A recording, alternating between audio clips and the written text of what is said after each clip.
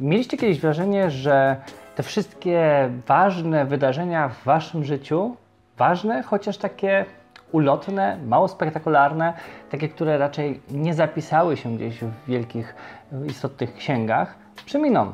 Zostaną zapomniane i może my nawet o nich zapomnimy za ileś lat, a na pewno już nasze dzieci czy nasi wnukowie mogą nigdy nie dowiedzieć się o tym, co się kiedyś wydarzyło. Więc może zróbmy coś, co zapobieże zanikaniu tej pamięci. Zapiszmy to. Witam na czasie dżentelmenów, nazywam się Łukasz Kielban, a dzisiaj pomówimy o prowadzeniu kroniki rodzinnej, własnej rodziny. Zapraszam.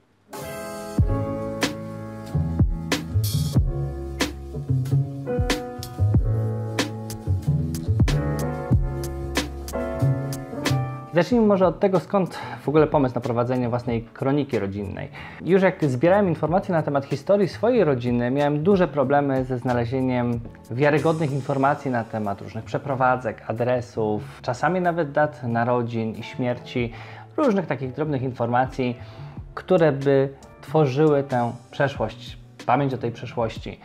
Jako historyk bardzo lubię tego typu rzeczy, dlatego zbieram też źródła, ale myślę też czasami w przód i chciałbym pozostawić po sobie chociaż trochę takich źródeł, do których mogliby inni sięgać. Ja też zresztą lubię co jakiś czas sięgnąć do jakichś pamiątek, czy to przeglądać zdjęcia, przeglądać filmy, ale także chętnie bym poczytał mm, o tych drobnych wydarzeniach z przeszłości, które wówczas były dla mnie ważne. Stąd też pomysł na zapisanie tego. I tutaj inspiracja do mnie przyszła między innymi z kronik, które były prowadzone już w średniowieczu, czy nawet wcześniej, mm, zwłaszcza roczników, w których e, zapisywano co rok jakieś istotne wydarzenia. Mm, także mm, jakieś księgi, w których zapisywano dzieje rodów szlacheckich i tym podobne rzeczy razem stworzyły w mojej głowie pomysł na założenie takiej kroniki, w której mógłbym zapisywać ważne wydarzenia, te, które na bieżąco uznaję za istotne. I w związku z tym mm, mam okazję stworzyć nową tradycję w swoim domu, w swojej rodzinie, mm, związaną z pisaniem tej kroniki. O tym powiem za chwilę w tych technicznych sprawach dotyczących spisywania tych informacji. Teraz jeszcze ogólnie tylko powiem, że jest to po prostu wielka, ozdobna księga, w której zapisywane są informacje ręcznie pisane, informacje na temat ważnych wydarzeń razem z datami podzielone na poszczególne lata. E, tutaj jeszcze nie wszędzie są zdjęcia, ponieważ właśnie zabieram się za wklejenie pozostałych i jest to dla mnie też okazja do tego, aby zebrać to wszystko i opowiedzieć Wam o całym tym projekcie i może zaszczepić w Was trochę chęci do tego, aby e, zorganizować sobie taką księgę i poprowadzić ją samodzielnie, aby za kilkadziesiąt lat była czymś bardzo, bardzo cennym. E, zatem jak widzicie są tutaj nie tylko informacje na temat poszczególnych wydarzeń, takie bardzo zwięzłe, po prostu, żeby nawiązać do, do tego, co tam się wydarzyło. Każde dwie strony obejmują jeden rok kalendarzowy, przy każdym wydarzeniu jest data dzienna. E, na drugiej stronie zostawiam sobie miejsce na wklejanie zdjęć, aby też widzieć w tym wypadku, jak my się zmieniamy co roku. Szukam tutaj akurat zdjęć, które nawiązują do tych wydarzeń, ale też pokazują członków rodziny, o których tutaj mowa, aby właśnie było widać ten e, upływ czasu. Jeśli jesteście zainteresowani stworzeniem czegoś takiego, co później może Wasze dzieci, Wasi wnukowie będą dalej kontynuować, aby powstało z tego coś wspaniałego, to zapraszam do tego filmu. Opowiem tutaj, jaki ja mam na to pomysł, jakie rozwiązania zastosowałem, w jaki sposób powstaje ta kronika, a może sami wykorzystacie te rady albo spróbujecie nieco je dostosować do własnych potrzeb. Zaczynajmy. Wbrew pozorom najważniejsza nie będzie ta księga. Będzie coś innego. Notatnik i spisanie wszystkich wydarzeń, które uznajemy za istotne. I tutaj pojawia się przed nami ten pierwszy problem, czyli przemyślenie całej kroniki i zastanowienie się, czego ona będzie dotyczyła i kiedy będzie się zaczynała. Ponieważ nie jest to takie proste, jeśli na przykład jesteśmy głową rodziny, mamy już na przykład dzieci, to będziemy się zastanawiali, czy na przykład cofnąć się do nie wiem, daty narodzin dzieci, e, daty ślubu, daty narodzin nas samych, daty narodzin naszych rodziców, i tak dalej. Możemy tu się zastanawiać również, jeśli jeszcze żyjemy y, z rodzicami, jesteśmy nastolatkami na przykład, ale w naszej rodzinie nie ma tradycji prowadzenia e, takiej kroniki. Podejrzewam, że w zdecydowanej większości e, rodzin takiej tradycji nie ma, no to moglibyśmy spróbować rozpocząć prowadzenie takiej kroniki na własną rękę, aby później zabrać ją ze sobą do własnej rodziny i, i dalej ją kontynuować. Jest tu wiele e, dylematów, które powinniśmy rozwiązać zwłaszcza jeśli będziemy chcieli opisać naszą historię. Bardzo długo nie podjąłem pisania tej księgi ze względu właśnie na pomysł o opisania historii mojej rodziny, że zdecydowałem się ostatecznie poświęcić tylko jedną stronę na to i będę musiał po prostu to maksymalnie zawęzić do najistotniejszych informacji. I ta historia będzie doprowadzona do roku, w którym ja się rodziłem, i dopiero dalej opisałem na kolejnej stronie moje życie do momentu, e, w którym rodzinę zakładałem. Dalej jest e, miejsce jeszcze e, przeznaczone dla mojej żony, żeby dokładnie to samo wykonać w jej przypadku.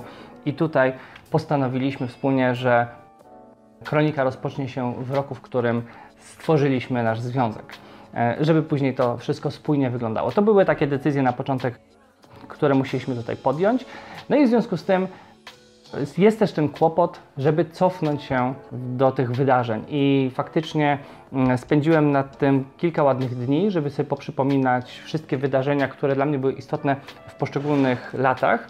Jak tutaj zauważycie, to jest po chyba 24 czy 25 linijek na to, aby opisywać ważne wydarzenia. Wydaje się to mało, w gruncie rzeczy jednak jest to dużo i żeby zebrać tyle informacji, cofając się na przykład 10 lat wstecz, nie jest takie proste. Pomagają tutaj zdjęcia, które sobie robimy e, smartfonami, jakieś notatki w kalendarzach itd., tak itd. Tak Staram się zebrać wszystkie te informacje, zwłaszcza żeby te wcześniejsze lata dobrze opisać. Wszystkie informacje lądowały na bieżąco w moim notatniku, później były segregowane, ustalane, ustalana została kolejność i dopiero wtedy przepisywałem to na czysto e, w tej kronice.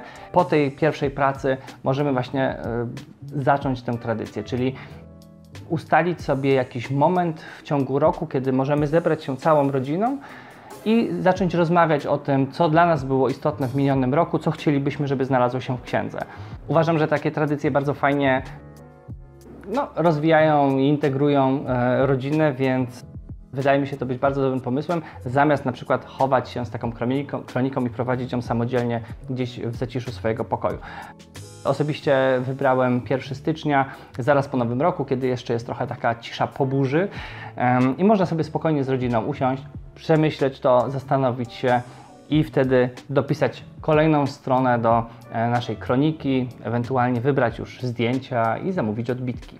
Jakie wydarzenia są tutaj zapisywane? No oczywiście narodziny, daty śmierci, przeprowadzki, rozpoczęcie czy zakończenie nauki. Mogą to być jakieś wyjazdy zagraniczne, jakieś stypendia, jakieś ważne wakacje, które coś zmieniły, mm, może rozpoczęcie działalności w jakimś stowarzyszeniu, fundacji i tym podobne, ale też mogą być to drobniejsze. Zwłaszcza jeśli cofamy się w przeszłość, to może się okazać, że wiemy już, że na przykład jakaś konferencja albo jakiś prezent na gwiazdkę zmienił nasze życie, ponieważ na przykład rozpoczął hobby, rozpoczął jakąś pasję, która przerodziła się później w pracę i tak dalej.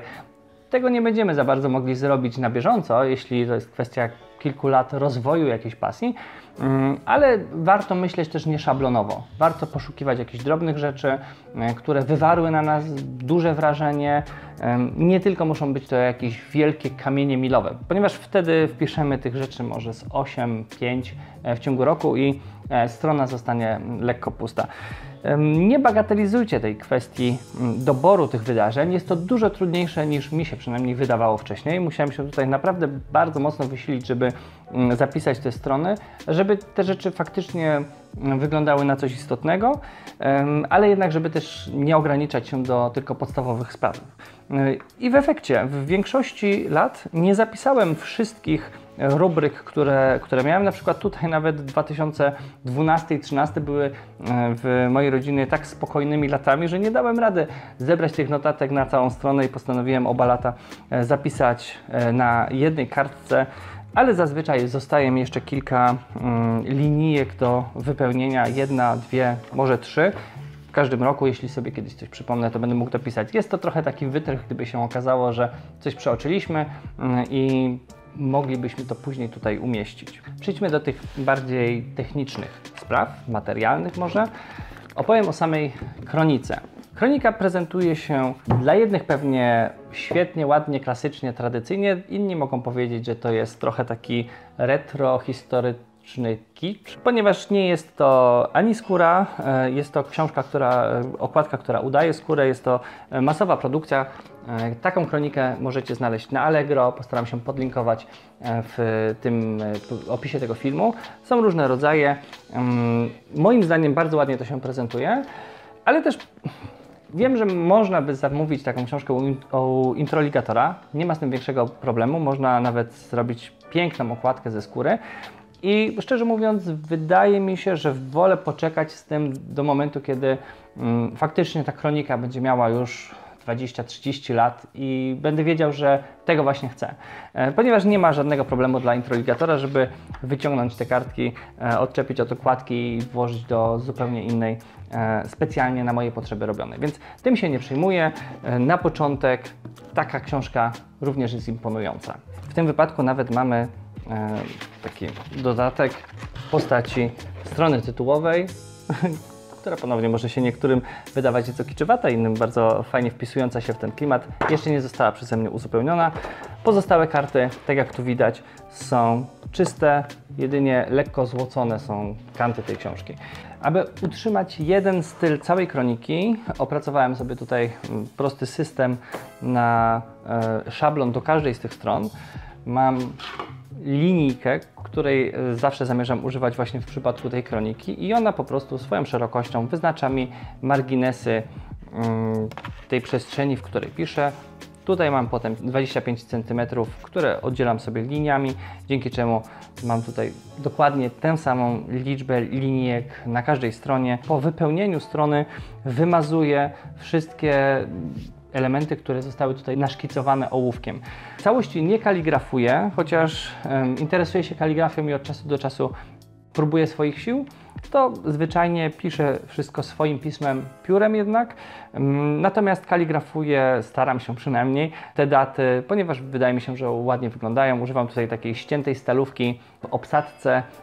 Jeśli się nie mylę, jest to e, stalówka do pisania majuskułą, takim średniowiecznym stylem. Ona jest szersza, pozwala ładniej zaznaczyć e, dynamikę tych liczb, więc e, podoba mi się ten styl, ale jeśli chodzi o cyfry, nie sugeruję się jakimiś podręcznikami. Więc w efekcie, kiedy staramy się tutaj zrobić to tak, żeby to ładnie wyglądało, to faktycznie robi wrażenie. No i na koniec, po wypełnieniu, doklejam zdjęcia, mm, aby uzupełnić całość i w ten sposób powolutku powstaje kronika. Moja kronika ma już niemal 10 lat opisanych, chociaż prowadzę ją od um, tego roku, tak naprawdę, chociaż trochę wcześniej już się zabrałem za, za prowadzenie notatek, um, ale dopiero teraz zrobiłem ten pierwszy krok. Zatem to też jest e, taki sposób na rozpoczęcie, jeśli nie jesteście jeszcze pewni, możecie choćby zacząć prowadzić notatki, żeby ta wiedza nawet teraz Wam nie umknęła, ponieważ te drobne rzeczy mogą gdzieś zaginąć. Muszę powiedzieć, że mi pisanie tej kroniki sprawia mnóstwo frajdy, zbieranie tych informacji, um, opracowywanie um, i ta tradycja siadania przy wspólnym stole e, i określania, co w tej kronice ma się znaleźć, to wszystko jest fajne. Wydaje mi się, że warto e, zaryzykować, warto poświęcić trochę czasu i uwagi na to, żeby rozpocząć taką, e, taki projekt, a potem zobaczymy, e, co z tego wyjdzie. Lepiej próbować niż później żałować, że się tego nie zrobiło.